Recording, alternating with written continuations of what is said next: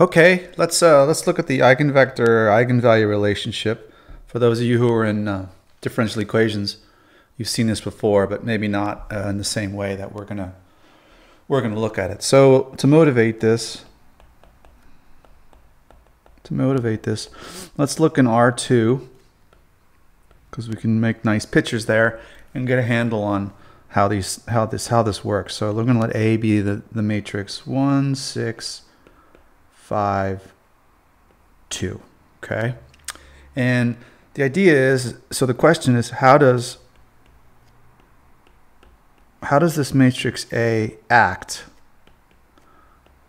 on vectors in R2? Okay. And it's this action that leads us to the special case of, of eigenvectors. So um, let's make some axes over here. And okay, let's just see what does A do to the vector 1, 0? Right? And A of 1, 0 turns out to be uh, 1, 5.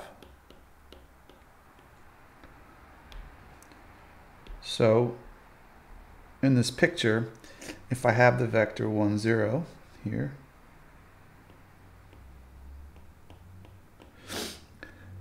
this is x, then then um, a of x is 1, 5.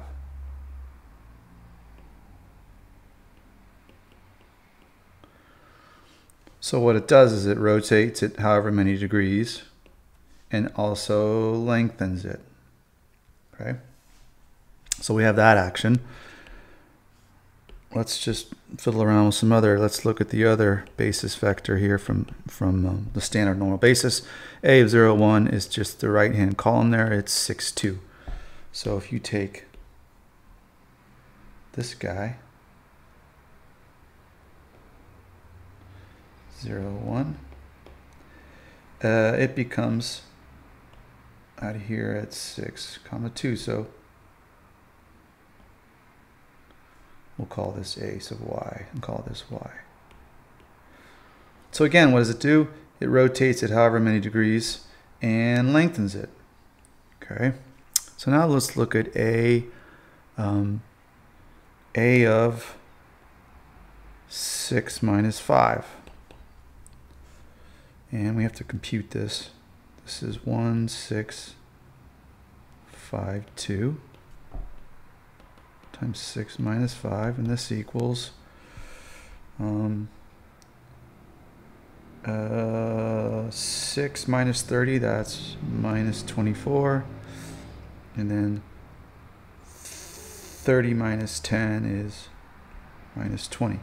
Okay, so out here at, oh, I need a new color. Um, So out here at 6 minus 5. Is my vector. What does A do to that? Well, minus 24, 20, you can't see it on here. If I factor out a minus 4 from this, I get, I get 6 minus 5. So all it does is lengthens it, right? So I go from here um, all the way, way, way out to minus 24, 20. So there's no rotation. And so this, vec this vector um, gets fixed under this, under this relationship. Okay, and so what you find out is that in this case, minus 4 is an eigenvalue for A and 6 minus 5 is the corresponding eigenvector. That's not a really good definition, but um, hopefully this picture gave some motivation to what's going on. So um, in this game, A, A acts on any vector in R2 by either stretching it or rotating it, except for 2 and they're the ones that lie on the line through these through these eigenvectors. Okay. So here's here's a more formal definition.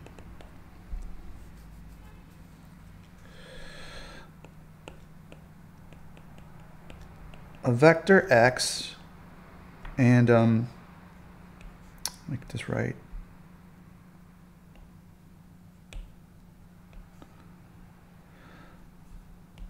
A non-zero vector, so x is not the zero vector. A vector x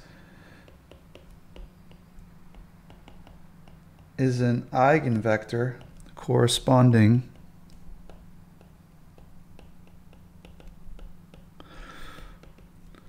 to a number lambda called the eigenvalue that satisfies satisfies the equation ax equals lambda x, right? And so this is this is the major um, major equation there. So from before, what we said was um, here. This is eigenvalue and eigenvector. So so for our example, lambda equals minus 4 is an eigenvalue of a. That corresponds to eigenvector, in this case, 6 minus 5.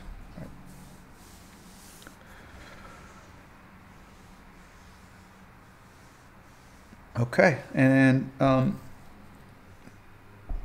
so our goal really is to understand why how this works and to be able to compute these because they show up everywhere and we use them for for other things like solving differential equations. All right, so the goal here is to solve the matrix equation AX equals lambda x, and it's important. It's important that a is n by n. Okay, a is n by n. All right, so a is n by n, lambda is a constant, and so x is n by 1, a vector. Okay, so anytime you solve, you're always setting stuff equal to 0. So we're going to take ax minus lambda x and set that equal to the 0 vector. And so when you factor the x out, you get a minus lambda x equals 0. Now the weird thing here is that a is n by n, lambda is 1 by 1, and so to make this a matrix identity, we have to slide in there the identity matrix. All right, so, so this is a matrix. We're going to call it B.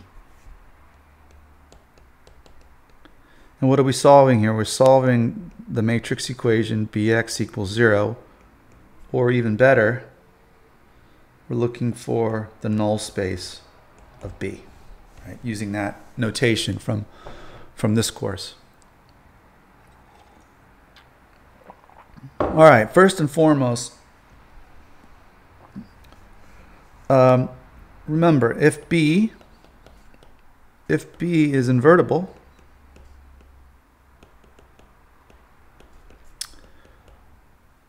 then bx equals 0 has exactly one solution, and that solution, then bx equals has exactly one solution, and that solution is only the trivial solution.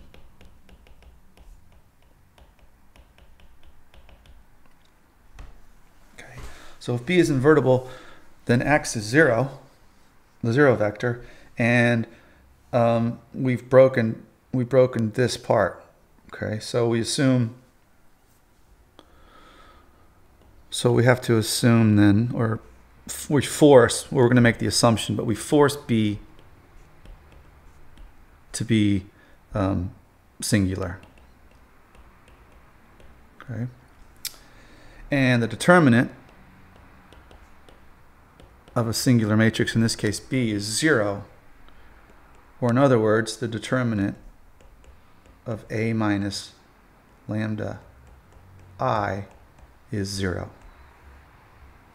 Right? And this will give us non-zero um, non-zero solutions once we find out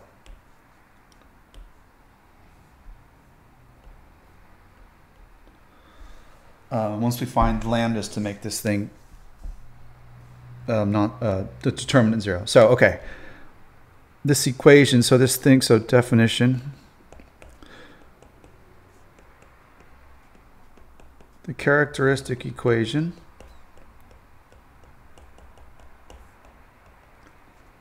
of A is just this thing in the box here. It's an equation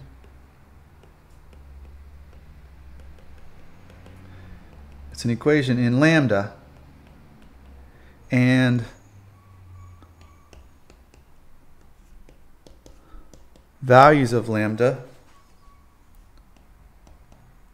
give us the eigenvalues of A. So when you solve the characteristic equation, you get the you get the eigenvalues of A, including multiplicities. And so if lambda sub i has multiplicity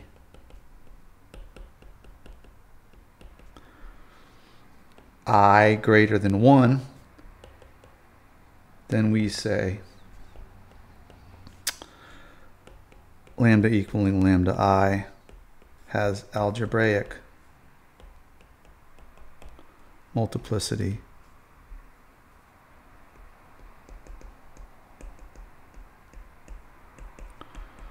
equal to i, right? It's just the number of repeats for a given for a given eigenvalue. Okay, well, finding determinants of anything bigger than a 2 by 2 or even a 3 by 3 is a nightmare, and so we'll show in this course, um, once we get past 3 and 4, that at some point it's actually impossible to do by hand every time, and that there's other algorithms for finding um, for finding the eigenvalues, and and that's something I would never get to or even think to get to in a, a differential equations course. But but that's down the road. Right now, we're sort of taking those first um, steps and reviewing what we did in um, differential equations and adding some theory to it. Right. Okay, so let's go back to our example. And we're going to find the eigenvalues of A where A is the matrix 1, 6, 5, 2, right? Okay, so what we're doing is we're taking the determinant of A minus lambda I, which is the determinant of 1, 6, 5, 2 minus lambda 0, 0, lambda. Right, setting that equal to 0. Okay, so this says now I have the determinant of 1 minus lambda 6, 5, 2 minus lambda. You said that guy equal to 0. And then we do the lambda minus 2, lambda minus 1 minus 30 equals 0. Now you do the determinant. And get this quadratic.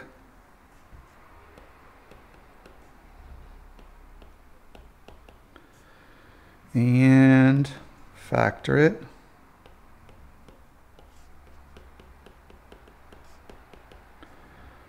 And give us the eigenvalues minus 4 and 7. Okay, so the eigenvalues of A equal this set minus 4 and 7. Okay, so to each eigenvalue, there is a set of eigenvectors. The set might only have one thing in it, or it could have multiple, like whatever the multiplicity is. So we take these one at a time. So we let we let lambda equal minus 4. And again, what we want to solve is a minus lambda i x equals 0. This is what we're solving. So in this case, it's a minus a minus 4, so plus 4i x equals 0. This is what we're solving. And when you do that, you get um, 5, 6, 5, 6, x1, x2 equals 0, 0. Okay, so now we're solving the augmented matrix. Like this. So you kill row 2. You see there's one free variable, um, which I'm going to use as x2. And so this says um, this says 5x1 equals minus 6x2. So x1 is minus 6 fifths, 6, minus 6 fifths x2. Okay. So x is x1, x2. This is minus 6 fifths x2, x2, which is x2 minus 6 fifths 1. All right. So any any value I choose for x2, which is my free variable, will give me an eigenvector corresponding to negative 4. So it's nice if you pick it to make your um, entries integers. So I'm going to pick x2 to be, what, minus 5? And so x now equals 6 minus 5. And we have found this is the eigenvector corresponding to lambda equals minus 4. Okay, so we found that guy. Now we do it again. Lambda equals 7. So we're, we're, we're, we're solving a minus 7i x equals 0. And in this case, you get minus 6, 6, 5 minus 5, 0, 0, which becomes 1 minus 1, 0, 0, 0, 0. And after a little bit of work, you get that x equals 1, 1 is the eigenvector.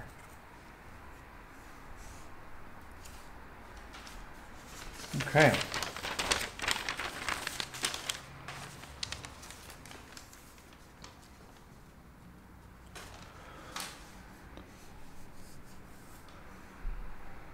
Okay, so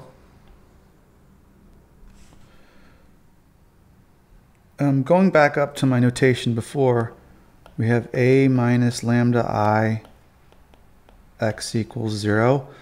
I'm going to recall this b, so now we're looking at bx equals 0 just to be cleaner, but it's assumed that b is this a minus lambda i n. Okay, so again, solutions are the null space of B. Now before we showed that the null space of any matrix, I'm just going to keep using B, to show the null space of B is a subspace of Rn. And in this special case, we call this the eigenspace of A corresponding to lambda. And sure enough, you can find a basis.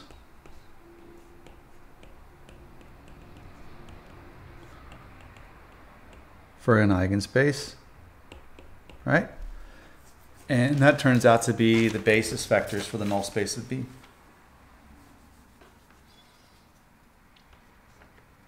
Okay, and this is really going to get explored in the uh, in the homework problems. All right, so um,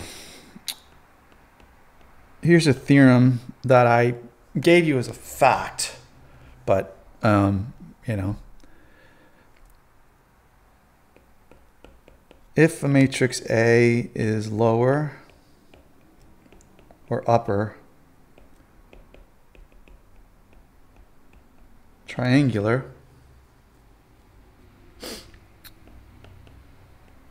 then um, the eigenvalues of A equal the diagonal of A, right? And if, if the matrix is not invertible, if, if A is singular, then zero is one of the eigenvalues. Okay. So you can't have the zero vector in the eigenvectors, but you can have a zero eigenvalue.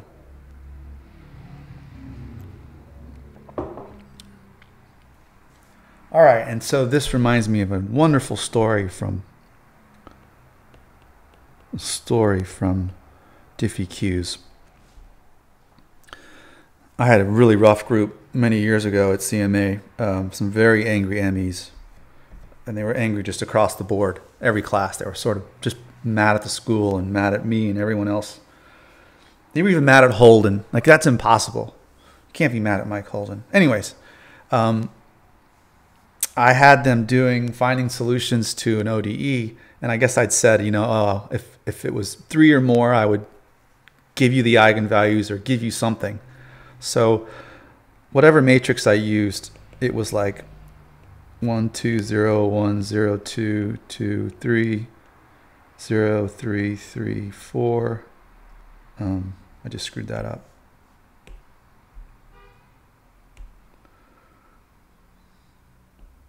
That has to be a zero.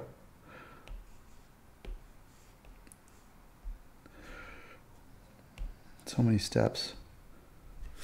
And then it was like zero, zero, zero, four.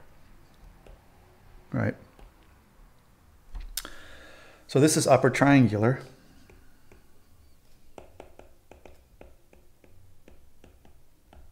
So the eigenvalues of A are just the diagonal, one, two, three, and four. There's no work to do. Well, okay. Everyone tried to tried to go A minus lambda I. I tried to take the determinant of this four by four matrix after putting in the, the minus lambda. And as you can imagine, it became horrible. But you don't need that because it was upper triangular, and so you get the eigenvalues for free. And it turned out to be a really easy problem that everyone blew and took up all this time and blah, blah, blah, and it blew up. Um, and so this is very helpful. And we're going to show here next week how to use this theorem to, to, to get our eigenvalues without um, computing the characteristic equation. But that's still a ways to go. Okay. Okay, so let's look at uh, a definition here. The definition of similarity. So a matrix A is similar to a matrix B if there exists some matrix P invertible such that P inverse AP equals B. Now you might remember this.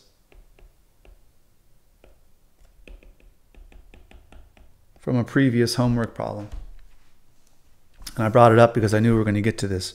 So the transformation that we looked at before took A to P inverse AP. This is called the similarity transformation.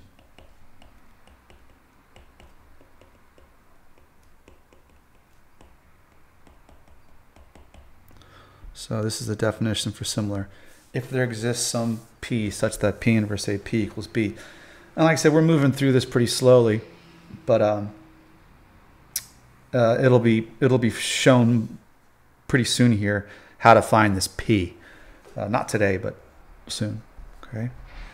And so the last theorem I'm going to hit you with is this, and this is often maligned. So if A and B are similar,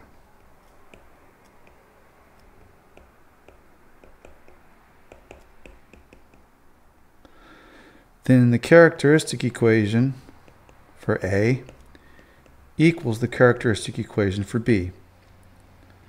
This also implies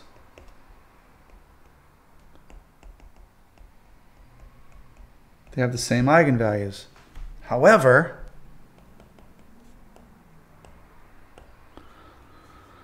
um, however, the converse is not true.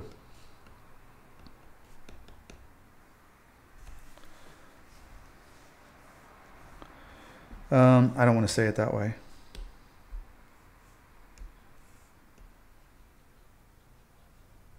I'm going to say it this way. However, if A and B have the same eigenvalues, including multiplicities, it does not imply that A is similar to B, right? And here's why. Check this out. So we're going to let A be the matrix 2, 1, 0, 2. And B is the matrix 2, 0, 0, 2. The eigenvalues of A are 2 and 2. So 2 is multiplicity, algebraic multiplicity 2. And the eigenvalues of B are 2 and 2. You just read them off the diagonal. But A is not similar to B. Uh, and that's because the characteristic equations are just a little bit different.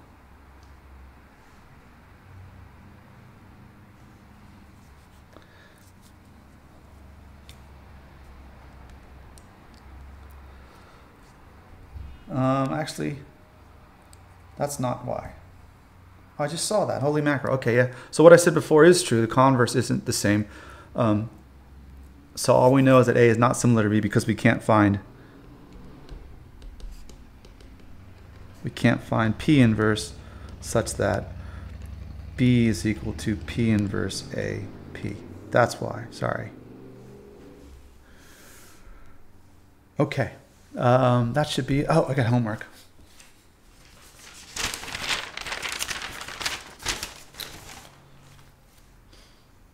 So this is. Which homework is this? Darn it. I think I'd have it written down somewhere. Convenient. That's the problem with having everything online is that uh, if you don't have your computer open, you're left to sit here and talk to fill in the space while you're trying to log into 15 different passwords to get to. Thankfully, they're all saved, but you go, still got to click through, and then you keep clicking,